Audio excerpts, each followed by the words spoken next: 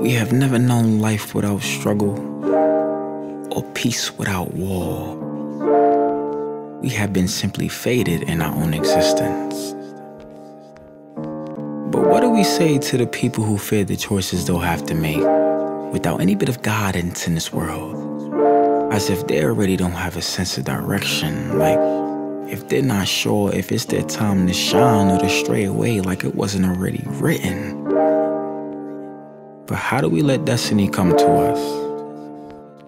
I guess until you accept it, you'll keep on searching.